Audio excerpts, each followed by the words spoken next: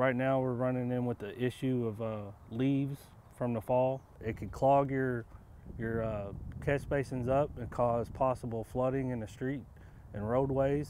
And it's close to winter time and if that happens it could freeze and it's going to cause issues if we don't uh, properly maintain the catch basins. This is our MSD catch basin atlas index. So this this right here is our maps. This pretty much basically shows us exactly where each basin is that we maintain in that area. There's 37 pages on this. Some are over 100. The machine that we use, it's pretty much a single axle dump truck with uh, a knuckle boom on it, a claw or clam. That's what we clean the basins with on a daily basis, day to day. My message to the people the, that are cleaning their leaves up right now, please do not uh, rake them towards the catch basin or in the catch basin because it will cause issues.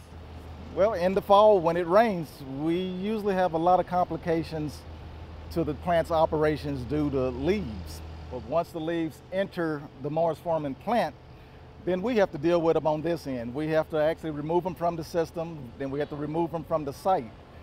Our major problems usually begin uh, with the first, what we call the first flush. And that's after the, the leaves have fallen to the ground and entered the collection system. That very first rain usually creates a challenge for us here at Morris Forman. And the challenge usually is uh, clogging of our bar screens. Our mechanical bar screens at Morris Forman are used to remove trash from the influent flow. Usually when the, the first influx of leaves enter the plant, it's just the, the, the amount of leaves. It just overtakes the capacity of our bar screens.